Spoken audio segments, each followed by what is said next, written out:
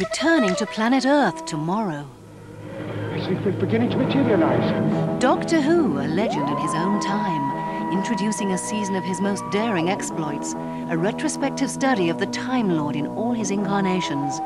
Resistance is useless at 6.50, followed by episode 1 of The Time Meddler, tomorrow on 2. They are to be exterminated. You understand?